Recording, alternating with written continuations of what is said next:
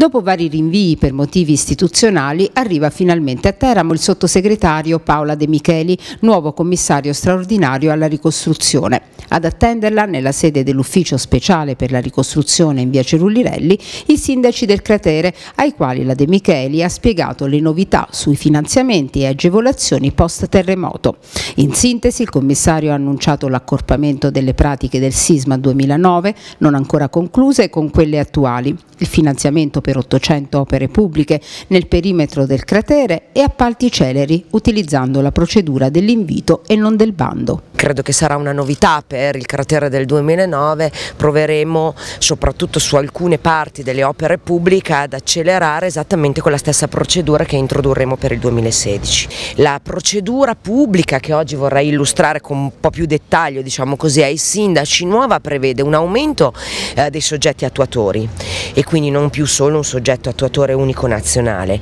Questo per consentire di avvicinare il punto di organizzazione della gara gara al punto di realizzazione della gara stessa, non solo in termini geografici ma proprio in termini istituzionali. E poi l'introduzione per tutte le opere pubbliche che riterremo strategiche, strategiche quindi le 400 già previste dall'ordinanza di Errani, più quelle che negozieremo insieme ai territori con i subcommissari, altre opere pubbliche di una mh, prossima ordinanza da qui eh, ai primi giorni dell'anno, ecco su queste 800 e 900 opere pubbliche potremo applicare la procedura negoziata. Per quanto riguarda l'adeguamento sismico delle scuole, tema assai caro a cittadini e istituzioni, Paola De Micheli ha spiegato che sono a disposizione ingenti somme da parte del MIUR, ma che i sindaci devono attivarsi per la progettazione e per poi partecipare ai bandi. Abbiamo già stanziato le risorse sia per gli studi di vulnerabilità ma anche per dei progetti eh, diciamo così specifici.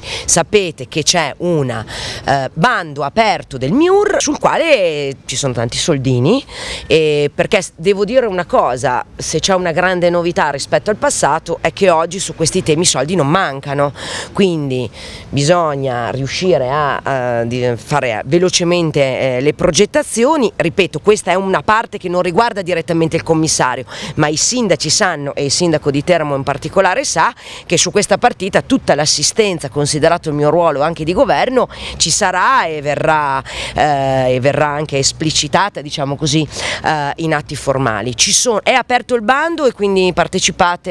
devono, i sindaci devono partecipare. Ma intanto come procede la lavorazione delle pratiche da parte dell'ufficio regionale per la ricostruzione dopo gli oltre 5.000 sopralluoghi effettuati solo nel comune di Teramo e che conta oltre 5.000 sfollati? Piuttosto a rilento.